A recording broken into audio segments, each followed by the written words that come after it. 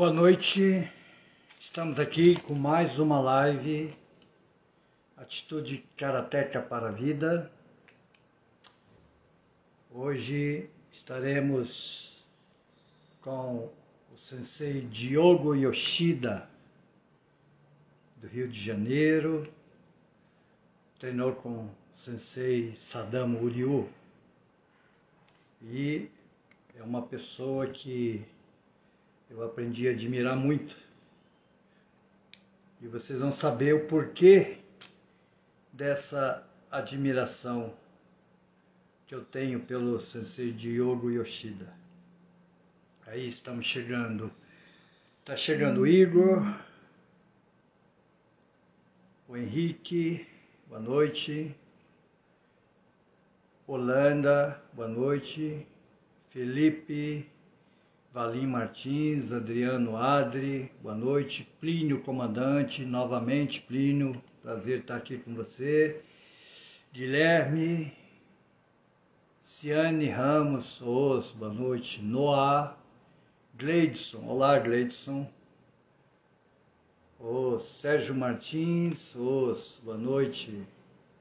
E vamos chegando. Joe Meister, os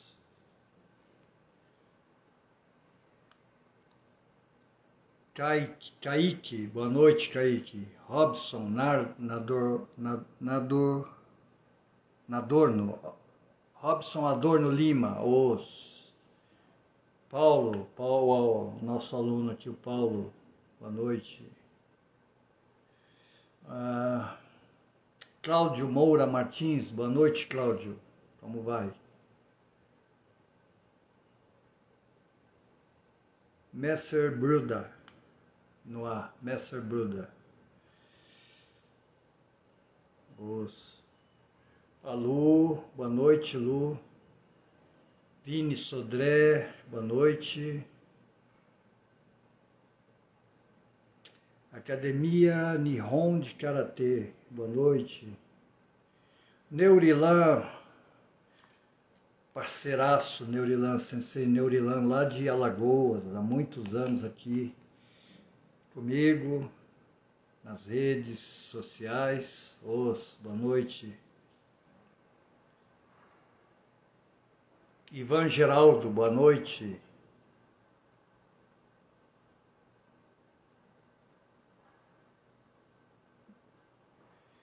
Sandra Lúcia, boa noite, Sandra.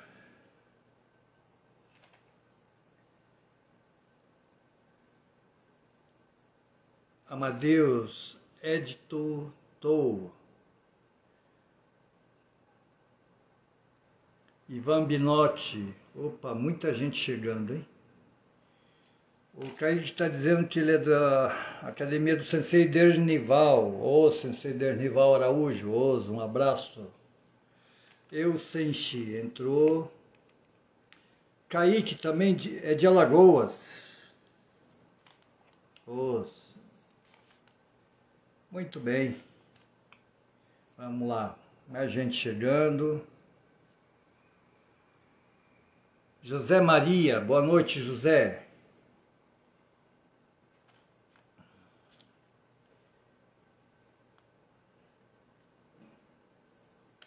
Muito bom, nós estamos aqui já com mais de 20 pessoas. Valmir Neto, boa noite, Valmir. Ivan Geraldo, boa noite. Murilo Dourado, os. Boa noite. Então, gente, olha, é, pelo currículo aqui do Sensei Diogo Yoshida, vocês vão. Eu vou ficar impressionado, tá, pessoal? Pelo, pelos títulos né, que o Sensei Diogo já conquistou, tá? É de impressionar, tá? Kaique está perguntando sobre e-book, respiração, né? É, vamos ver se eu faço uma, uma live, viu, Kaique, sobre o e-book, ok? o, o Luigi Toninello. Ô Luigi, quantos anos, hein Luigi? Tudo bem? Ok. Vamos chamar o Sensei Diogo? Estamos aqui aguardando. Sensei Diogo. Henrique Ângelo, boa noite. Ok, os. Tudo bem, Sensei? Boa noite, Sensei. Tudo bom, Sensei Aracaki? Como está? Tudo bem, graças a Deus. E o senhor? Ah, tudo ótimo, tudo maravilha. Que Ainda bom. mais agora, que nós vamos bater um papo muito interessante. Sensei Enio, lá de Alagoas, acabou de entrar. Um abraço, Sensei Enio. Ô. Sensei Diogo, eu fiz uma rápida apresentação. O senhor segue a linhagem né, do Sensei Uriu, Sadam Uriu, grande Sensei, né? Saudoso.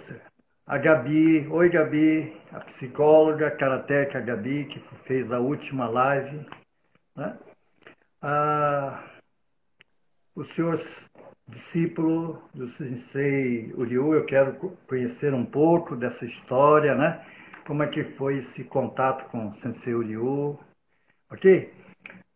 Ah, vamos começar então. Sensei, por favor, queira se apresentar. Primeiramente, gostaria de agradecer o convite, Sensei Aracaki, ao pessoal que está acompanhando aí. Tem gente famosa aí, mais, mais famoso que eu acompanhando aí, Sensei Jacaré, né?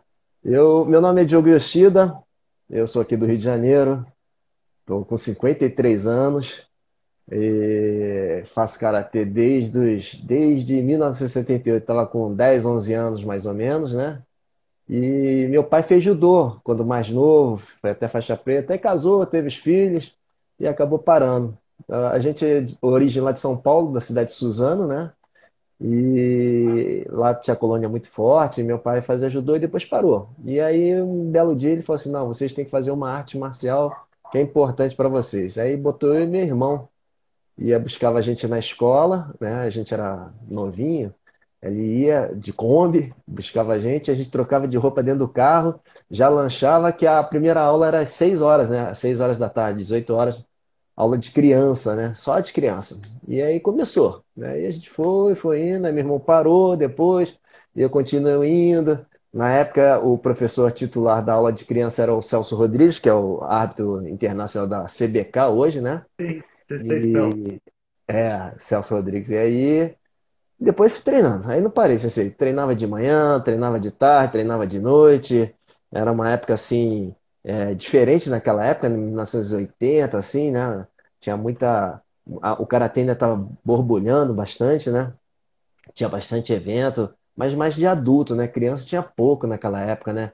Tinha muito pouca criança fazendo, competindo, era um, era um sacrifício fazer um torneiozinho. Eu me lembro que o primeiro torneio que Sensei Uriu fez foi dentro da academia, assim, dentro dos os, os próprios alunos, né? E depois foi indo, foi indo, foi indo. E, e- e a- aque- aquele tempo, 1980, assim, que foi o grande auge lá para mim, que eu me lembro ba- bastante da academia cheia, né? Aquela, aquela época que tinha Karate Kid, ficava cheia, a academia lotada. A academia era coisa de louco, ficava muito cheio o Karatê realmente. E, eh, e foi assim, Ceci, comecei assim e não parei. Não parei. Trabalhei, estudei, fazia Karatê e ia nos trancos e barrancos sempre fa- fazendo a vida, né? Estudando, trabalhando, que sempre é difícil, né? Quando a criança começa a chegar na idade de, de, de ter 15 para 18 anos, é uma, uma, uma fase difícil para tem que estudar para a faculdade, aí começa a trabalhar, e aí a vida começa a complicar, mas a gente não pode parar, né? E eu não, não parei. Graças a Deus eu nu- nunca parei esse tempo todo, isso aí. Sempre Ok. continuando. Sensei, eh, eu penso que nós somos de uma geração abençoada pelo fato Verdade. de ter conhecido tantos sensei, né? Muitos, como o próprio Sensei Uriu, né? Já partiu para uma outra dimensão, né? Eu tive o privilégio de treinar com o Sensei Sagara, né?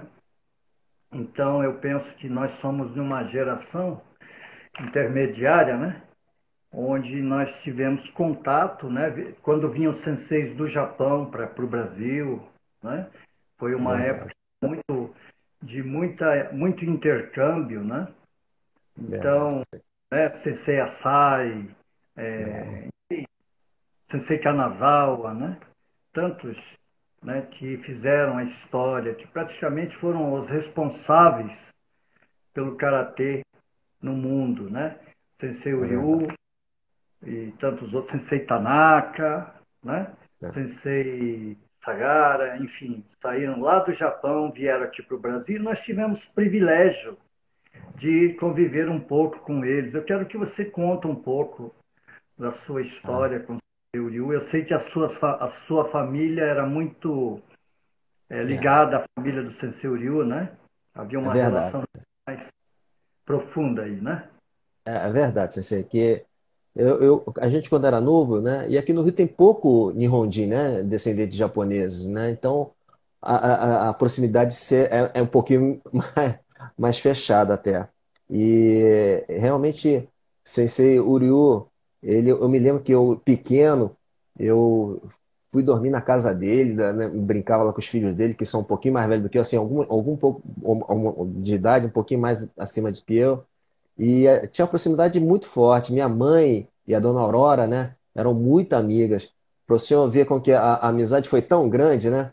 que durante todos esses anos eu, eu, eu tive o privilégio de viver quase uma, a vida inteira com o Cecil Uriu, né? De, desde os 10 até 50 anos, mais de 40 anos.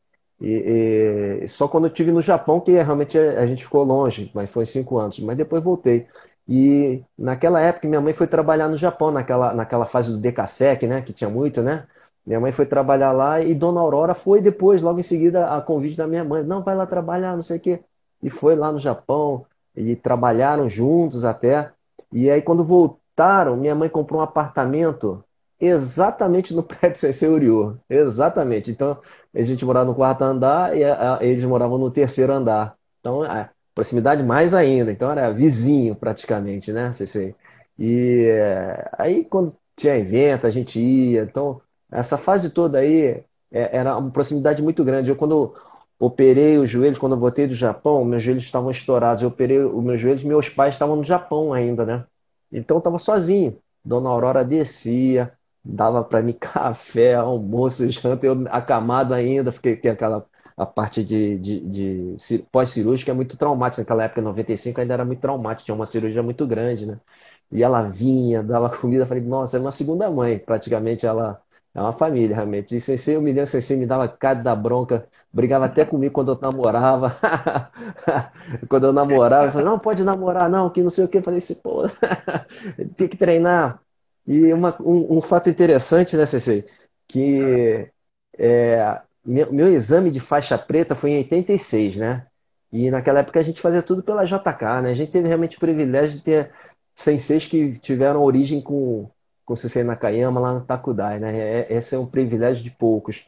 E a gente é abençoado porque a gente teve essa oportunidade e a gente vê que poucos tiveram essa oportunidade e, e a, a disseminação, disseminação, da técnica ela vai se perdendo conforme vai se distanciando dos centros, né? E meu exame eu tinha era se eu tivesse 17, 18 anos, não me lembro quanto tinha não, talvez 18 anos. E a banca lá na NKK, lá na Tijuca, foi Sensei Sagara, Sensei Tanaka e Sensei Uryu. Quer dizer, naquela época ainda eles se uniam, faziam uma banca, uma banca, nossa, uma banca de primeira, né? E eu falei assim, porra, não, eu vou dar o meu máximo aqui no, no exame aqui. Eu me lembro que tinha um, um companheiro da academia, o Arara, que era bem mais velho do que eu. Falei assim, nossa, não vou fazer muito bem esse exame. E fiz assim, excelentemente. E eu me lembro que esse exame assim foi marcante para mim, né? apesar de ter pouco contato com o Sensei Sagara, mas, mas foi marcante, porque era uma banca assim de alto escalão, vamos dizer assim. E, e o senhor vê, né? Quando eu cheguei lá no Japão em 1990, quatro anos depois, eu levei o diploma do Japão, né? E, e, e antes disso, na verdade, quando eu quis competir, né, no Rio de Janeiro, eu falei assim, Sensei Ryu, eu quero competir. Ele, ah, você quer competir? Então vai lá. Aí eu fui lá, me, me, me filiei na Federação do Rio de Janeiro, né, que era a FECAS, e na a gente tinha que fazer outro exame. Falei, pô, outro exame, mas isso aqui é da JK, vale no mundo inteiro. Não, tem que fazer outro. Aí mandaram fazer outro. Aí é, recebi da, da federação e da CBK na época, né? 1990, mais ou menos. E aí, quando eu fui para o Japão, eu levei o diploma do, esse do, da JK antigo, né? Falei, cheguei lá. Por acaso estava chegando o Sensei Uek e Sensei Osaka. E Sensei Osaka perguntou: Não, você é? Sou do Brasil? Eu sou do Brasil, sou aluno do Sensei Uryu. Ah, Uryu, pô. Aí ele lembrou que ele era senpai dele na faculdade do Takudai. Aí, Olha. pô, aí já começou a abrir as portas, né, Sensei? Falei, nossa, pô, aí já me recebeu bem pra caramba. Fui treinar com ele nas terças-feiras, que ele só dava aula de catar uma aula fechada dentro da JK. E nas quintas-feiras ele morava uma cidade depois da minha, lá, quando eu morava no Japão, eu morava em Matsudo, ele morava uma cidade depois, que eu esqueci o nome. E aí treinava às quinta-feira, que ele é uma, uma academia do amigo dele, que ele dava só às quinta-feira. Então foi um privilégio treinar e, e com certeza essas amizades que eles tiveram lá no passado na Takudai ajudou bastante, Sensei. Então, minha relação com o Sensei Uriu foi essa, e quando voltei em 2000 e, 2000, 1990, né, 95. Mas aí, em, em 2005, acho, se eu não me engano, o filho dele estava na presidência da confederação que o CCURU tinha separado, não sei o quê, aquelas confusões que, políticas que a gente conhece, né? Acabou montando a CBKS. E o filho dele ficou um bocado de tempo lá como presidente, o, o mais velho, César, e aí um belo dia ele não queria mais, aí falou assim, ó, oh, agora você assume. Eu falei, meu Deus, agora comigo? Aí fiquei mais um tempo lá como presidente de federação de Estado do Rio de Janeiro, confederação, e ajudando o Sensei, fazendo a, a, a, o que ele queria, que era difundir a arte, ele queria que fosse nessa organização, e eu sempre procurei fazer bem feito. Eu sou virginiano, né, Sensei? Então eu gosto de tudo bem organizadinho, então organizei tudo, documentação, deixei ela nos trincos. E aí, em 2014, eu passei a bola e fui tocar a vida lá, deixei para outros, né? Mas foi uma vida muito próxima, muita bronca, né? Muito Shinai. Pois é, para quem não conhece Sensei Ryu, Sensei Ryu, ele era um sensei muito rigoroso, muito. É. Né? Inclusive nos cursos, eu participei de um curso com ele, mas assim, houve, tive a felicidade que foi Presidente Prudente na época do Lacombe, né? Sim, sim. Então haviam poucos e aí o Sensei Uriu estava lá, foi lá, né? E eu fui sair daqui de Campo Grande, né? E aí eu disse, ah, sou aluno do Sensei Sagara, né? Aí, aí, aí ficamos muito próximos, né? E ele contou muito da história dele, realmente. Ah. Olha, eu acho que, infelizmente, é, nós brasileiros temos uma memória muito curta, né? As, é, pessoas passam e, e ficam assim. Eu penso que a gratidão, né, ela deve permanecer como uma linha né, que nos une né, as tradições com o karatê que é hoje. Nós devemos sempre trazer em nossa lembrança não é? todos esses sensei que, poxa vida, saíram lá do Japão não é? e vieram aqui para o Brasil e passaram dificuldades enormes. Muita gente não sabe disso, né? mas a maioria dos senseis passaram por muitas dificuldades financeiras. E nós estamos aqui hoje, né? desfrutando do karatê com toda né, essa variedade né, que existe hoje de karatê no mundo. E por falar em variedade, eu estou vendo aqui os seus títulos, Sensei. 2017, campeão mundial pela KWF. Aí 2019, campeão mundial pela JKS. E no mesmo ano, campeão mundial pela ITKF. O que, que, é isso? É, tudo é. Como é que é esse trânsito aí que eu. Sabe, uma coisa que eu admiro em, em, no senhor, Diogo, Sensei Diogo, essa tua capacidade de interação, de vinculação com as pessoas, independente de organização. Né? É. Quer dizer, isso, é, isso é uma coisa que, desde o primeiro momento que eu, que eu comecei a. começamos a, a nos falar, né? uma coisa que eu percebi é isso. Né? Essa tua capacidade de interação. Né? O senhor transita bem por todas as organizações. É. De onde vem isso? É, eu acho que um pouquinho de mim também, mas com certeza o princípio da educação e respeito, né, Cecília? Então a gente chega na, na casa dos outros com, com, muito respeito e devagar. A gente, quando eu conheci o senhor na academia do, do Alessandro, né, lá em São Cristóvão também, né? É, é, é assim, eu, eu, eu, é, o meu, é o meu jeito de, de ser, primeira coisa, né? Mas eu acho que, independente disso, acho que todo karateca deve ter essa humildade, sim. Que eu, eu aprendi uma coisa, Sensei, que o mundo é gigante. Tem muita gente para ensinar tanta coisa para gente, até as coisas erradas, mas vai ter muita coisa boa para ensinar para gente, né? E, e, e, a gente tem que ter, abaixar as orelhinhas mesmo e, e, chegar devagarzinho e querer aprender cada vez mais. É, como eu falei, a gente teve sorte de ter gr grandes senseis, né, sensei? É, realmente eles foram assim desvabradores é, na, na, na, no tempo deles, né? Eles são percussores e realmente o karatê está aí muito com o trabalho de, dessas pessoas que começaram lá atrás, sim. É, e é verdade isso, a gente não pode esquecer nunca e o brasileiro esquece. E eu comecei a, a, a ver quando o mundo era muito grande, quando eu, fui competir uma vez, não sei se você lembra do CC Furushô, né? Ele, quando ele saiu e montou a, a Interestilo, e eu fui num evento aqui no Rio de Janeiro, eu fiquei impressionado, a quantidade de gente que tinha, e tanta gente boa. Eu falei, nossa, caramba, e a gente estava só no mundo do Rio de Janeiro, né, que também era, era, era assim, um centro de, de, de excelência, mas falei, caramba, quanta gente boa, quanta gente do meu lado aqui, no, no, na cidade do lado, eu não sabia que tinha tanta gente boa. E a gente despertou que, opa, Karatê é muito maior, então não é só nosso, nosso, nosso umbigo, não. Não podemos ficar olhando só nosso umbigo e falar assim, a gente é o melhor, a gente é demais, a gente é... E não é assim, a gente sabe que cada dia tem um melhor do que o outro, tem outro para ensinar. Então eu sempre tive esse, esse, essa vontade de conhecer as pessoas, essa vontade de aproximar todo mundo de uma forma diferente, né? Porque a gente sabe que as organizações existem e vai ser difícil a gente unificar, mas por que não unificar elas com as amizades, né? Por que não unificar com nossos aprendizados, com nossa humildade? Bater lá na porta e falar assim, eu quero aprender com você. Não ter vergonha de, de ir num curso de uma pessoa, não, e, e, e, e ver o que, que ela pode me ensinar. Por mais que seja doloroso ficar tantas horas lá para aprender, eu acho que a gente tem que aprender muito aí. E 2014, eu, eu, eu saí da, da, da academia CCU, né? CCU meio brigou comigo, falou assim, não, não quero mais você academia, mas eu tô na federação ainda, tá na federação, mas aqui na academia não quero mais você treinando daqui não, brigou comigo, aí eu, beleza, aí eu falei assim, ah, então vou começar a treinar mais onde eu gostaria de treinar, e comecei a treinar na KWF aqui do Rio de Janeiro, na tradicional que CC Flávio Costa, que é antiguíssimo também, rinoceronte, comecei a treinar com o pessoal da, da WKF, que o, o Espeto, Maurício Espeto, que hoje é técnico da seleção, ele já treinava lá com a gente de vez em quando, de vez em quando ia para os mundiais, então eu tinha uma relação muito boa com ele, tem até hoje, e, e fui treinar na WKF, fui treinar mais o que? A JK com Pestana, né? Pestana treinou com a gente até, assim, com, começo da juventude, até assim, mais ou menos, né?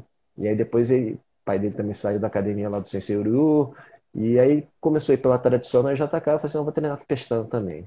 E comecei a treinar Pestana, e Pestana é muito JKA, né?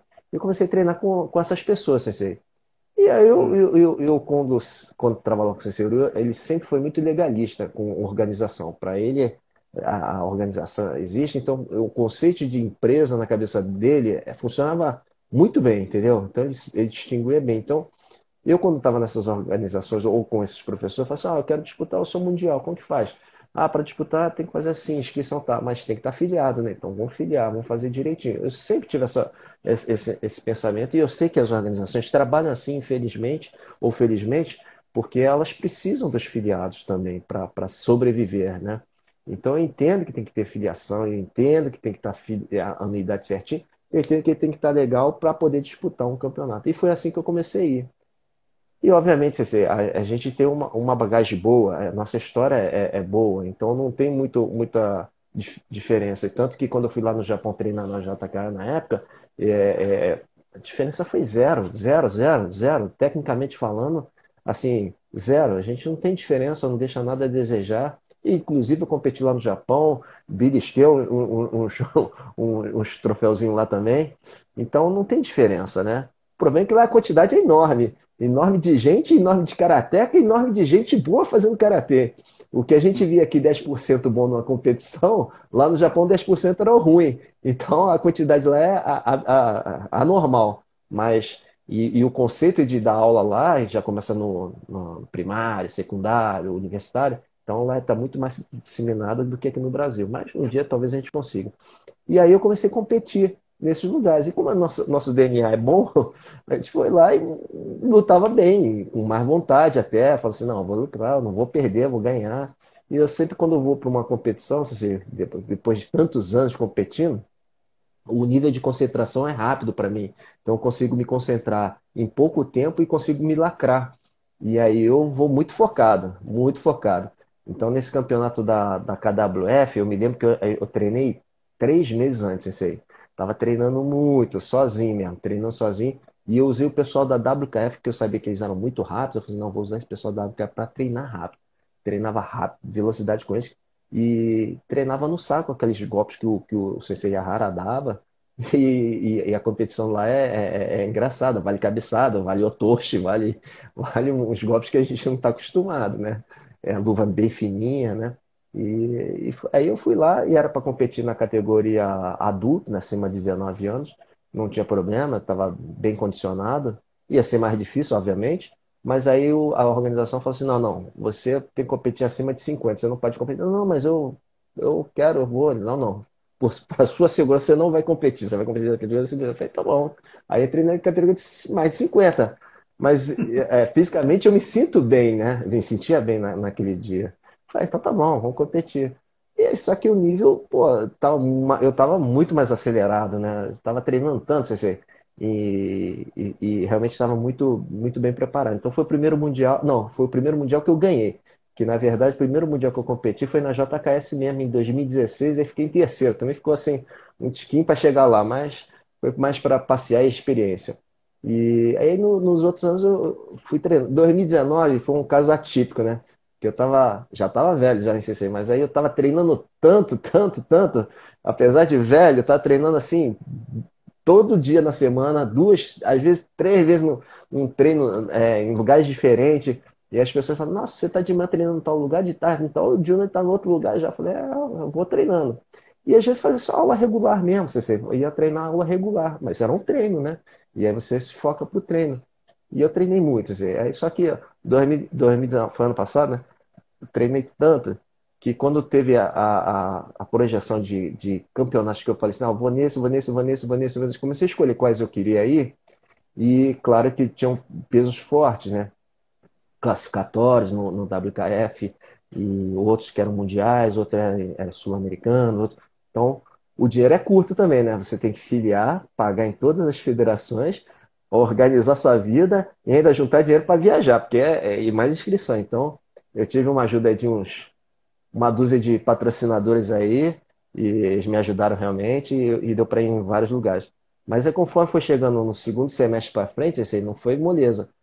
A, o desgaste físico é grande, né, dependendo do lugar, e eu não percebi, mas no Pan-Americano da JK, no, no, lá em Bogotá, que eu já tinha ido lá, já tinha competido uma vez lá, eu senti muita falta de ar, né, e, e me, me Atitude. Minha, minha, minha imunidade, é, minha imunidade caiu demais.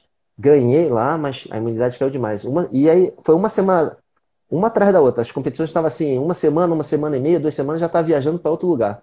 E não deu tempo para me recuperar. E eu, quando fui para o Mundial da, da, da JKS, eu já estava mal. Eu não sabia que eu estava tão mal, mas eu estava já com princípio de pneumonia. E aí lutei no sacrifício, também não sabia que estava ruim. E eu falei, caramba, tá faltando ar, não estou conseguindo lutar direito, pô. Mas aí nos trancos e barrancos consegui ganhar lá do pessoal lá. E tinha bastante gente lá. E aí depois voltei pro Brasil, aí me fiz um tratamento de antibiótico, aí melhorei, isso aqui. Aí teve o um campeonato do. Aí teve o um campeonato tradicional. O Brasil é em Cuiabá, Cuiabá, Cuiabá. Aí teve o um campeonato tradicional. Tradicional não usa luva, né? É no, é no osso duro.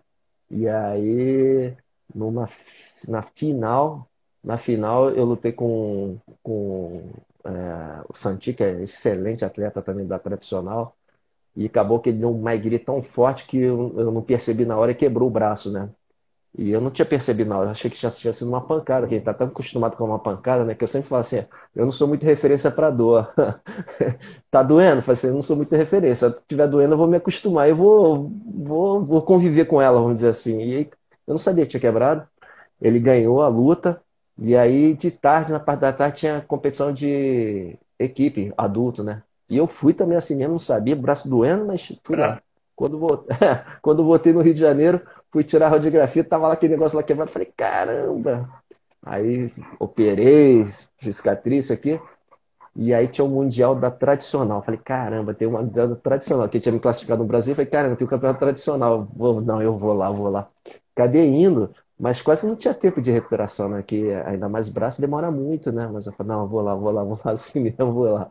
Aí fui, fui bem também. Foi um campeonato, assim, sem luva, né? Como sempre, mas um pouquinho mais tranquilo, assim, eu, eu diria assim, mais a tradicional sempre eu digo que é o mais perigoso de todas, assim, o, o risco de se machucar é muito grande. Em compensação da WKF, eu já acho a competição mais tranquila, menos se machuca. O, o, apesar do pessoal falar que não, tem, não aparece a técnica, mas o subdome deles é muito melhor do que muitos, muitas organizações. Eles conseguem controlar o golpe mais do que muita gente que acha que é tradicionalista. Né? Eles têm um controle absurdo. E a velocidade. Aí foi assim, CC. Fui, fui indo, fui competindo. Assim, jogo gosta de competição? Gosto. Eu, é, é um objetivo, assim, que me, me incentiva a treinar mais, né? Treinar por treinar é bom. Eu sempre treino. Faço aula comum, que ronca, tá? É, comitês. Aula padrão faço. Mas a, a que me chama mais atenção é ter um objetivo lá na frente. Falar assim, pô, tem uma competição lá em fevereiro. Vamos treinar pra, com foco nisso aí. Eu acho que a pessoa tem que ter um objetivo. Ah, mas é, é a idade chega, ou, a pessoa tem que pensar se vai querer treinar ou se vai querer fazer só karatê budô, né? É, são, são, são dilemas, né? A gente não, não para de treinar. Eu, eu falo que naquela época de 80, a pancadaria dentro da academia, se eu deve lembrar, era, era acirrada também, era pô, de sair com o braço todo roxo naquela época, né? E hoje em dia a gente tá um pouquinho diferente, né? E aí eu, eu considero que a competição, para mim, é um objetivo, sim. E é um treinamento forte que eu não tenho mais na academia. A gente tem treinamento na academia, mas é mais devagar. E aí, quando a gente chega na, no, numa competição, a gente pode soltar um pouquinho mais, testar mais. Então, hum. eu considero que é um, é um treinamento para mim. Eu não, eu não vejo como uma competição, eu sempre chego muito tranquilo. É uma extensão, né? Uma extensão. É, para mim é uma extensão. Eu não fico nervoso na competição hoje em dia, claro. Não chego, eu chego na, na hora da luta, vou lá e luto e faço o meu melhor ali. Então, para mim é um treino. Que, que vai acontecer, a gente nunca sabe, né? Que o adversário também está pensando a mesma coisa, querendo fazer mil coisas, mil estratégias. E aí é sempre uma caixinha de super. Então, esse treinamento a gente não tem mais na academia. Antigamente, Cecílio fazia muito treinamento de comitê lá, frente a frente, assim, aquela fileira, às vezes fazia um só na frente, ou então fazia igual competição mesmo, grupo A, grupo B, vai luta um contra o outro. E não tem mais isso aí. Eu, eu, eu não vejo isso aí, ó, Sensei, há muito tempo. Antes de eu ir para o Japão, já, já parei de ver isso. Lá no Japão, quando treinava lá, tinha muito Kihon, muito Kihon, kata, Kihon, kata. E era muito pouco Kimite também. Então, eu sempre considerei que o, o, a competição é um cheque que me, me ativa a parte que a gente não parou de treinar um pouquinho no, no, nas academias, por N motivos, né? Que a gente sabe que ou vai machucar, a gente vai perder aluno, várias coisas que a gente tem que pensar e a gente tem que realmente pensar. E acontece acidente, a gente sabe que acontece e a gente acaba perdendo um aluno. E a gente que vive, assim, professores que vivem de academias, tem que pensar nisso também. Pô, vou Sim. perder aluno, vou fazer ele lutar, se matar, tem que, ele tem que saber dosar, né? E, e esse é o grande dilema da gente acertar o equilíbrio para não perder aluno também, né, CC? Eu acho é, é complicado, mas é perfeito. Eu acho que eu venho sempre colocando né, que um dos maiores desafios é fazer o equilíbrio, né? Manter o karatê budô junto com a parte competitiva que os jovens querem, né? É, e não ir para o extremo, né? Nem só é. somente competição e ou, ou só budô. Eu acho que é importante ter essa capacidade um sensei de dosar, né?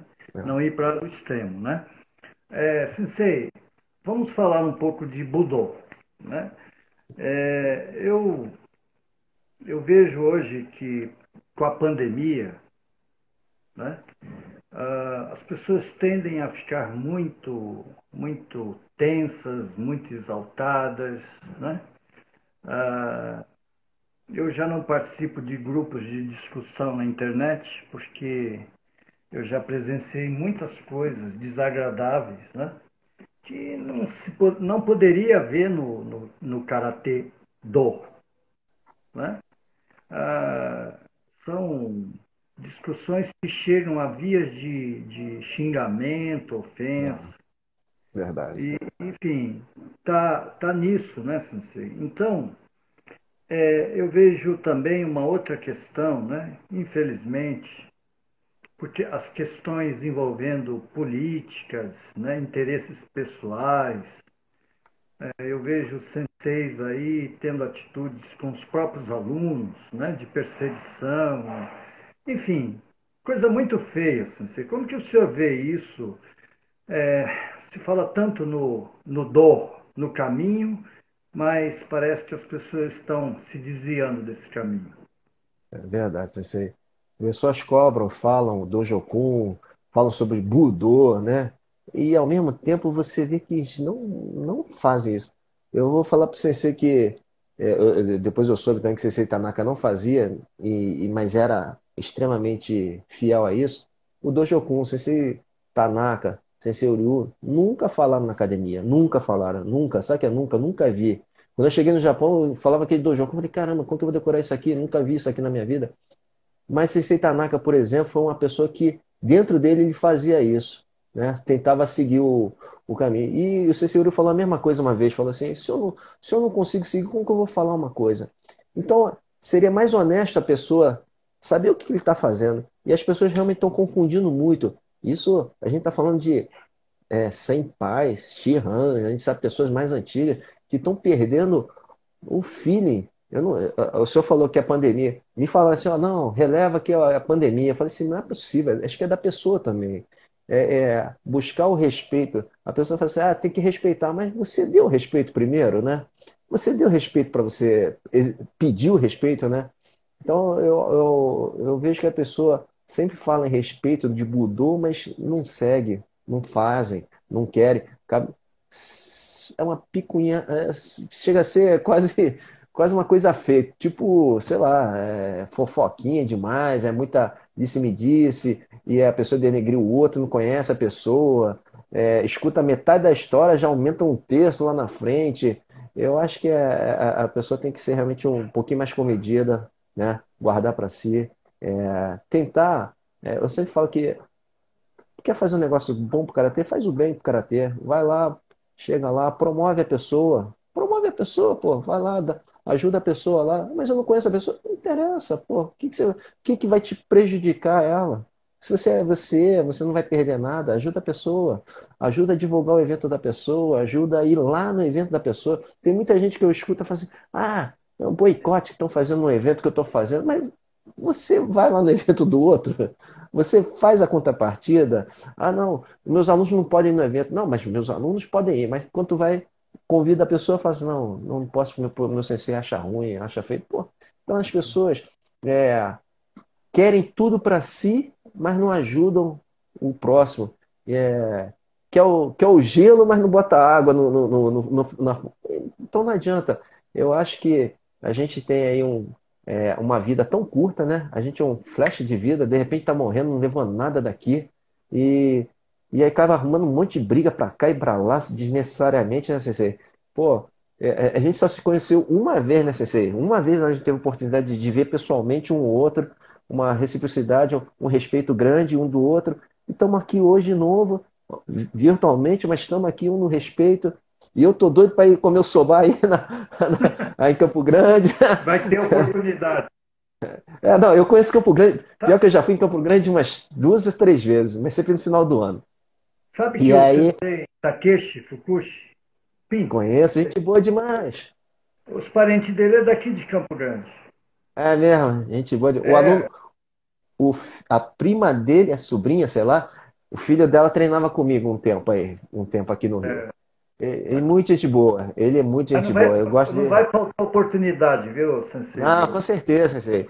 E, e é isso, eu acho que a gente tem que ser gentil para ter é gentileza mesmo, né? A gente ajudar o próximo e parar de ficar querendo é, desdenhar do outro, falar mal do outro, querer sempre falar que é melhor. Acho que ninguém é melhor do que o outro, ninguém tá aí, a gente tá para se ajudar, eu acho. A gente tem que se ajudar, na verdade. O cara tá tão, tá tão desmembrado, né, Sensei? tantas organizações, não tem problema, deixa lá a pessoa lá, qual o problema? Deixa a pessoa numa organização dela. Mas vamos fazer união interna, pelo menos da gente, vamos fazer harmonia. Só tem briga, Cecília, que você falou nos grupos, só tem briga lá para lá, para cá, briga para cá.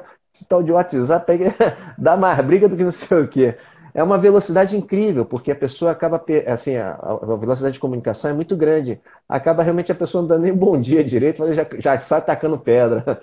E assim vai a carruagem, sensei. É incrível. Para falar mal do outro, é só postar alguma coisa que já era. E daí é. eu penso, sensei Yoshida, o senhor é um, uma referência, é um exemplo para atletas, inclusive, né? atletas e sensei é, porque o pensamento que eu tenho é esse, né? igual do senpai na cama. Né? Ele diz assim, karatê é família, não tem que ter divisões. Né? E eu, eu tive uma felicidade muito grande de participar de um gachuco em Campinas agora. Muito bom. Você viu? Sensei Matita, JKA, Sensei Nakama ISKF, né? e eu lá fazendo uma. Lá. Quer dizer, e gente de peso, sensei, participando. Não, foi o pessoal da JKS lá, estava lá, o pessoal da JKS estava lá. O pessoal da JKS estava lá, sabe? Então foi uma, uma confraternização muito bonita, né? É, até a Sensei Lucia, esposa do Sensei Nakama, ela ficou muito impressionada. Ela até perguntou: será que é por causa da pandemia que todo mundo veio, né? Mas não, eu acho que está surgindo uma nova consciência, sensei. Eu acho que nós devemos, né, através da nossa atitude, né, de estar sempre divulgando. Por exemplo, o senhor vai nos eventos da, da, ali, aqui, o senhor está sempre tirando foto, mostrando ali. Eu acho que é, é, é por aí mesmo, né? De ah, estar tá que... mostrando para as pessoas, olha, eu estou aqui hoje, amanhã eu estou lá, e assim, né? Vamos fazendo do Karatê realmente uma família. Exatamente, Sensei. A gente tem nossas casas, todo mundo tem sua casa, mas a gente tem o, o vizinho, nossos amigos ali. Então, aqui, o dia que o Sensei Uriel morreu, o Sensei na cama me ligou, né? É, dando as condolências. E eu, tinha, eu já tinha foto do Sensei na cama já. Na época, o Sensei Uriel era técnico dele, lá em 1990, eu acho. Era técnico de seleções, foram campeões, inclusive, é, pan-americano. 90, eu acho, 91. E é isso, Sensei. A gente tem que se ajudar mesmo. Sensei Matilda é um gentleman, ele é, um, ele é muito engraçado, né? É, é, é teve o, quando a gente estava treinando lá no. treinando em, em, na Colômbia, ele chegou no final do treino e falou assim: ó, apontou, a gente sentado já, ele explicando alguma coisa. Ah, tá vendo lá? Jogo lá. Professor dele, Uriu. Aí o Sensei estava com 92. Sensei, Uriu tá com 92 anos, ó. Vocês têm que aproveitar de mim, senão daqui a pouco alguém vai me levar. Tem que aproveitar. E é isso, a gente tem que aproveitar porque a vida é muito curta, né? A gente fica brigando, não quer ir na casa do vizinho, não quer, não quer ver lá o que que. Pô, não tem, não tem isso, né? A gente tem que, tem que abrir essa, essa guarda né, dentro do karatê. Existe uma guarda incrível aqui. Não sei se é porque é de lutadores. A gente tem que se respeitar e parar de falar mal do outro e ajudar o outro. Eu acho que a gente vai crescer assim todo mundo, sei, todo mundo tem alguma coisa para ensinar. Até o faixa branca. Até o faixa branca que entrou outro dia tem alguma coisa para ensinar para gente. Então acho que a gente tem que ser humilde, é, aprender com os outros e se respeitar, que é o que está faltando muito no karatê, infelizmente, né? Infelizmente é um querendo botar a faixa mais graduada do que o outro e falar que por causa disso é, é, é, é melhor que o outro. E eu acho que não é isso, não. Eu acho que a pessoa cresce e é um, uma pessoa de referência que senhor fala, mas a pessoa tem que mostrar. Uma vez o Celso Leme, que é um professor de. um doutor em finanças aqui do Rio de Janeiro, de uma faculdade chamada Copiade, aqui muito famosa, ele falou assim: Diogo, você é exemplo, não senta direito, senta direito. Quer dizer, naquela época era novo ainda, ele falou: não, senta direito, tem muita gente olhando. A gente é exemplo, de uma forma ou de outra, a gente é exemplo para outras pessoas. E a gente tem que sempre estar tá antenado que a gente tem que passar coisa boa para o outro. Coisa ruim a gente já. qualquer, qualquer deslize a gente já está passando coisa ruim. Não é assim que a gente quer ser reconhecido lá na frente, né, Sensei? Eu acho que a gente tem que sempre deixar um bom legado aí para gerações que estão vindo aí. É, a gente fala sempre do jovem, mas o jovem é assim, ele é tirado mesmo, mas tem que botar ele no caminho, né? No, no respeito, entender como que funciona a disciplina do karatê. Não é só ordenar, bater, né? Não, não é assim. Tem um lado por trás ali, um respeito, saber chegar nas pessoas. Acho que isso é muito importante, né, CC? Eu, graças é. a Deus, onde eu vou, sou bem recebido. Justamente, é porque você criou né, essa, toda essa situação. Né? Quer dizer, é aquela coisa, a gente colhe o que semeia, não é? É verdade. Então, eu acho que o senhor é um exemplo, um atleta competidor, karatê forte, né? mas de uma humildade muito grande. Né? E aí você vê pessoas que querem ser o que não são, né? e e muita, um linguajar vulgar, né? uma estupidez tremenda, e isso não é o karatê. Né? É. Nós somos pessoas normais, né? o karatê surgiu na nossa vida e não é através do karatê que né, vamos fazer essa opção é, medíocre né? de querer ser alguém na sociedade. Eu acho que não é por aí. Né? É então, o karatê é para a vida, né? O karatê é para que a gente possa ter harmonia, capacidade de lidar com situações como essa que a gente está atravessando agora, né? É, é, e outra, o que diferencia o karatê do de uma luta é justamente o controle. Né? Você está é. falando de fundomê, né? O controle. É, é isso, é, é isso que é a essência do, do Budô. Controle. É verdade. Controle. Paciência, controle. O cara não, não estoura qualquer coisa e perde controle. Fala coisa que não deveria falar. É muito ruim, é muito feio. Até, é, pessoas que a gente admira não, não poderiam estar assim, né? É verdade, concordo com o senhor. Diogo, é, muito triste. É, na época que eu treinava, o Sensei Sagara dizia muito, catar, catar é importante, catar vai, que catar que você treina, você fica bom no comitê. Né? Essa era a orientação. Né? E hoje, com essa vertente competitiva, talvez por fator de tempo e foco, muitos estão deixando o catar de lado. Né? Como é que o senhor vê isso? É, eu, eu, eu, convivo com o pessoal atleta de alto rendimento, né? O pessoal da WKF lá com o espeto tem quatro na seleção e um com possibilidade na Olimpíada, possibilidade real. Então eu convivo com eles. Eles têm um tempo muito curto, como você falou. Ele tem que decidir se ele vai fazer catar ou se ele vai fazer comitê. Por quê? Os dois exigem muito tempo do atleta. Catar, principalmente o Catar, eu fico impressionado. A, a, o nível de treinamento do pessoal de Catar chega a ser exaustivo mesmo. O físico arrebenta o físico da pessoa. O Chiai, ele tem mais a estratégia, mais a parte física, mais condicionamento físico, que também tem uma parte importante, mas não é igual o Catar. E o que você falou, o Catar é onde está tudo. É onde a gente tem, tem tudo ali. Então, se a pessoa quando terminar a fase dele de, de, de, de, atleta, ele for querer dar aula, ele não vai conseguir dar aula, porque ele não vai saber fazer mais os kata's. Ele mal lembra quando ele chegou faixa preta, como que foi o kata que ele fez. Ele não vai conseguir fazer porque ele não treina mais. Então é importante, é, atleta, sim, fazer aula normal, aula padrão, regular. É aula de Kihon, kata, comitê, aula normal. E não só o treinamento, porque quando ele parar, ele vai precisar daquele kata. Ele vai precisar ensinar. E eu, eu, eu, eu tenho uma metodologia, sensei, de, de, de passar a minha aula, minha didática de aula. Eu penso no catar. Eu vejo assim, pô, aquele catar tem esse movimento que eu quero dar. Eu treino aquele Kihon do catar, faço frente a frente daquele Kihon que eu estava treinando e volto no kata que eu queria treinar naque, naquela, naquela fase. Pô, eu quero treinar esse kata. Então, para treinar esse kata, eu tenho uma metodologia assim. Minha didática vai ser isso, isso, isso, isso. E eu, para me chegar até o kata. E aí quando a pessoa diz, ah, pô, bem, agora que eu entendi porque você estava dando esse movimento no Catatem. Exatamente, porque o Catatem. Então, é, é, é, é minha forma, né? E o Ceceuru sempre foi reconhecido pelo Catar. Catar do Ceceuru sempre vai, faz. Metade da aula praticamente era Catar do Ceceuru. Metade da aula sempre foi Catar, sempre fazia todos os Catar. Todos. Aí quando eu conheci o CC Assai, o CC Assai inventou mais uma tonelada de Catar.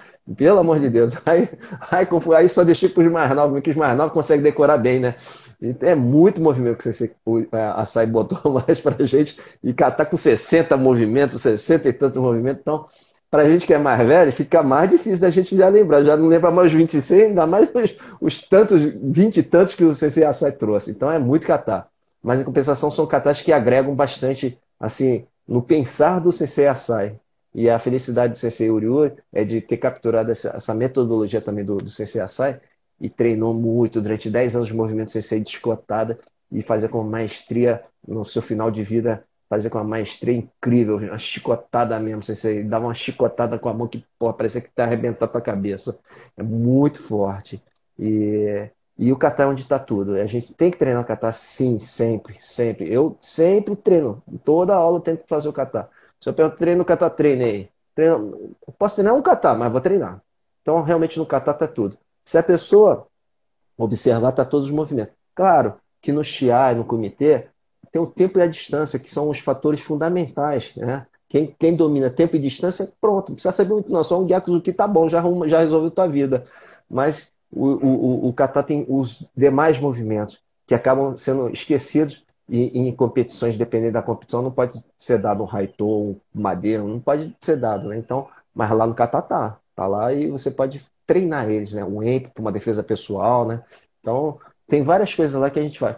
Eu, eu tenho costume às vezes de fazer também, assim, no Kihon Pon, né? No Kihon Pon, assim, ó, um movimento, um movimento de defesa de um kata, mas cada movimento tem que ser diferente. Então, usa a sua cabeça incrível que a pessoa não está acostumada, ela fica perdida, mas está lá no Catar. Tu lembra daquele movimento? Faz defesa e está no que. Então a pessoa vai, tenta buscar na sua memória a defesa que está lá dentro do Catar para fazer o Kihon Pon, Kihon Pon padrão, mas para a pessoa sempre ativar que ele tem que estar tá treinando Catar. Infelizmente, eles, eles têm que entender isso.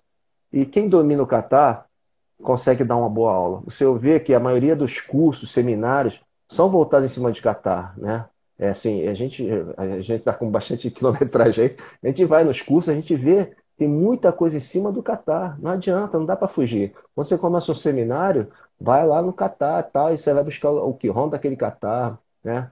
Foi raro assim, um, curso que eu fiz do CC Yahara foi diferente. O CC Yahara já começa com Xiai, um Xiai não, com comitê lá. Aí frente a frente, ele cumprimenta frente a frente. Ele já faz diferente, mas é o estilo dele. Mas ele também não foge muito à forma do Catar, ele sempre busca o Catar também, uma hora ou outra ele sempre busca, né? Agora, a CCA foi muito feliz nos Catar. Eu tenho conhecido uns Catar lá, muito, são bem interessantes mesmo. Muita rotação, muita, muita chicotada, sim, sim. muito raitô, muito, muito no que ter, muito mão aberta. É, uma coisa, é bem diferente mesmo. Ele era uma pessoa era, diferenciada. Era dentro, da, era dentro da visão né, e da característica pessoal dele. Né? Ele trouxe... É, era demais. É. Ele é muito, muito foi versátil. Um, um gênio. Foi... Ele foi, ele foi. Pena que morreu cedo também, né? Muita gente morrendo, né, Sensei? Muita gente nos deixando. Pois é. é.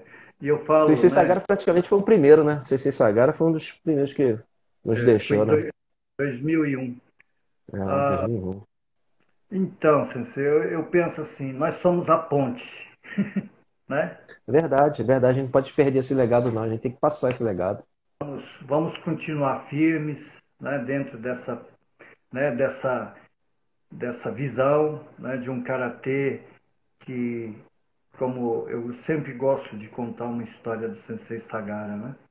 Ele estava num encontro de senseis, de outras lutas, karatê, e cada um falava do, da sua técnica, né?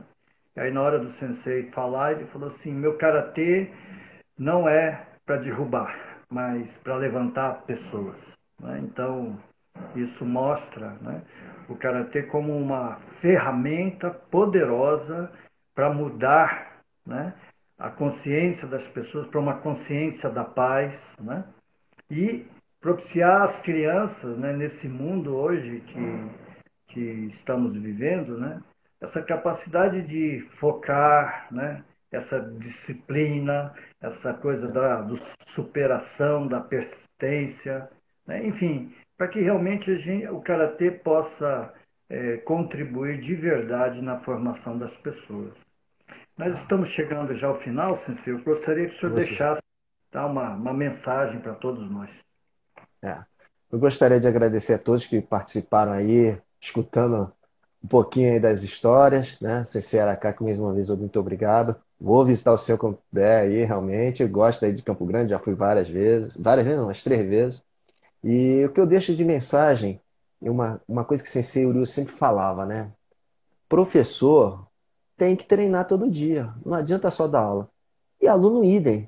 Se você quer melhorar alguma coisa, não pode parar de treinar. Tem que treinar todo santo dia, tem que treinar. Nem que seja um pouquinho. Tá ruim, tá gripada. Eu cansei de treinar gripado, porque eu sabia que eu ia melhorar com a minha gripe e eu ia conseguir, meu organismo ia reagir. Então, é, essa é a importância do karatê. Se a gente vai treinar devagar, porque a nossa idade já não permite, mas treina, não deixa de ir na academia, porque a academia, além de ser sociável, né, porque você vê as pessoas, conversa, pode ser outra coisa, você está conversando, não tem nada a ver com o karatê, mas você está lá num ambiente sadio, né? Eu falo que sempre o karatê, ele sempre vai trazer alguma coisa positiva para você, seja no treinamento ou seja na vida, né? Eu acho que vocês não podem parar de treinar e esse é o meu recado só. Os Ô, Sensei Yoshida, muito obrigado. Fica com Deus aí, a família. Tá? Tudo bom. E Ô, até um outro encontro. Tá? Com certeza, com certeza. E será muito, viu, Sensei? Será muito, tá? Bem, pessoal. Abraço, boa noite a todos. Essa live vai ficar aqui no canal, ok? Eu quero que vocês compartilhem, porque realmente é uma, é uma história. Uma história muito bonita, viu, Sensei? Parabéns. Isso. Isso. Tchau.